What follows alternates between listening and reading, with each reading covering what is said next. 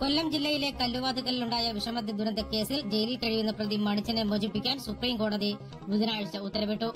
ഇരുപത്തിരണ്ട് വർഷമായി തടവ് ശിക്ഷ അനുഭവിക്കുന്ന മണിച്ചൻ മോചനത്തിന്റെ മുപ്പത് പോയിന്റ് നാല് ലക്ഷം രൂപ കെട്ടിവെക്കണമെന്ന് നേരത്തെ വിധിയുണ്ടായിരുന്നു. കല്ലുവാതിക്കൽ മദ്യദുരന്ത കേസുമായി ബന്ധപ്പെട്ട് മണിച്ചന് ജീവപര്യന്തം തടവ് ശിക്ഷയ്ക്ക് പുറമെ മുപ്പത് ലക്ഷത്തി നാൽപ്പതിനായിരം രൂപ പിഴയടയ്ക്കണമെന്നായിരുന്നു വിധി. ഈ പിഴത്തുക ഇരകൾക്ക് നൽകാനും കോടതി വിധിച്ചിരുന്നു.